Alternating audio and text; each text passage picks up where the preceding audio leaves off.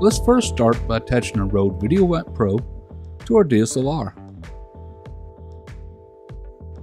Now gently tighten the cold shoe locking nut. Now open the protective cover and plug in your microphone to the 3.5mm jack on top.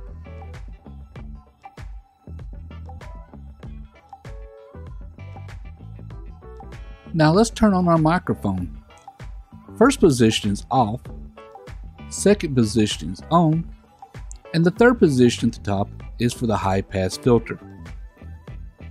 We simply want ours on the regular on position. Now we have three gain positions at the bottom, a negative 10, a 0, and a plus 20 dB. For this setup, we want to use plus 20 dB. We now need to switch our Canon 80D over into video mode.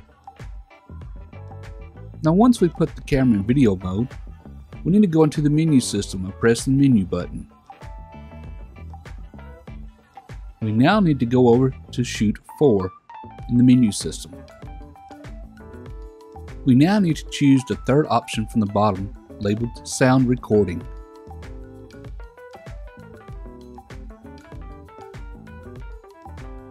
Now by default, sound recording is set to audio. We want to set it to manual. Now once we've got it set to manual, we need to lower our recording level all the way over to zero, which is all the way to the left. Once we've did that, we need to now increase it by about 4 or 5 clicks.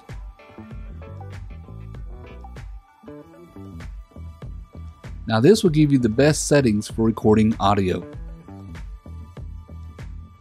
Now the Rode VideoMic Pro is now set up on your Canon 80D.